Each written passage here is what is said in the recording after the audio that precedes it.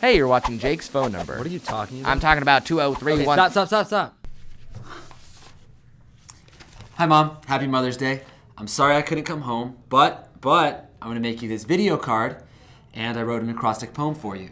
Here it is. Laura, L is for your long hair.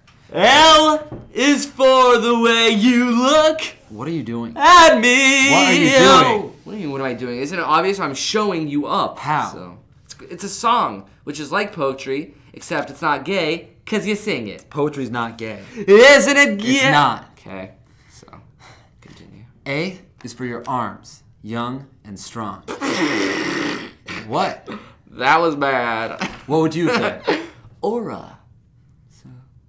A is for aura, young and strong. Mm-hmm. U is for umbrella. Because you protect me. Wow, Like, umbrella? Come on. You should be for uninspired or unapologetically underwhelming. You should go back to poetry. Don't school. just insult me, all right? God, it's easy to say on this or on that, but there's no un that's a positive that I could use in the video.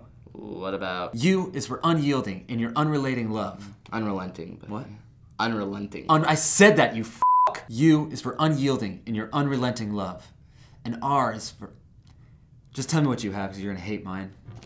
oh, you spit all over me. Shut, up! This is a rough draft. it was still rigatoni. It's a pasta she used to make. really.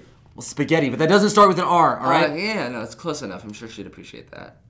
R is for raising me, the gift that you continue to give me throughout my childhood. A is for arms. Again. Yeah. Arms again. She has two, right? Does she have two arms? How many arms does she have? I think she has two, but Okay. yeah. So No, that's it's a good true. deal. Go right? for it then. I am gonna go for it. Good. It's gonna be good when you say it twice. I will. That means it's doubly as important. My right? mom's not gonna care. My mom loves me. Yeah, I'm sure she loves you whether or not you say arms twice. It's very inspiring. I'm, a is for appreciation, which I owe you eternally.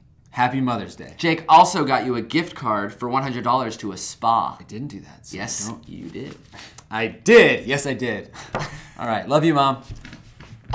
So, This is great. Thanks, man. no problems. What'd you get your mom? I didn't get her anything because Mother's Day is a Hallmark holiday, so didn't you say it's also her birthday? it is also her birthday, yes. Okay. So, two Hallmark holidays for the price of one. Free! Because you ain't spending. Yeah, because I ain't spending anything. Can I get that card back actually? Because it's also our anniversary. Okay. and I Well, no, you already gave it to me. Well, so- it already expired!